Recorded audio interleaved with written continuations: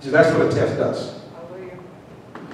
You know, it's, amazing what, you know, we, sometimes people wear jewelry and then their skin breaks out. Well, you know good and well after that, that, that, that, jewelry, that gold isn't real. They, got the, the costume jewelry, the fake stuff.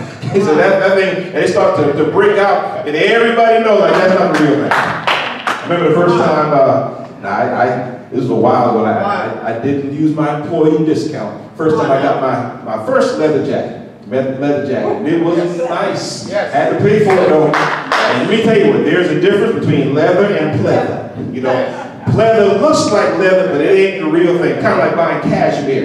It is cashmere is, is, is something specific. Oh yeah, and you, woo, you know when you feel it, right? There's a difference. And so I remember having those pleather jackets. Those things didn't last long at all. Then I had to upgrade.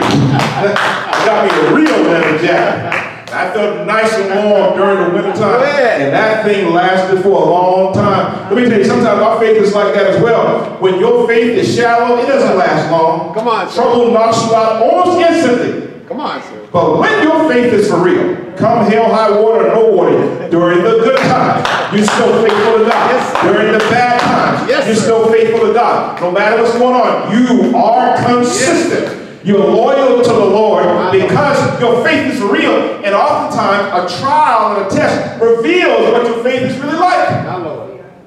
That's what Peter says here.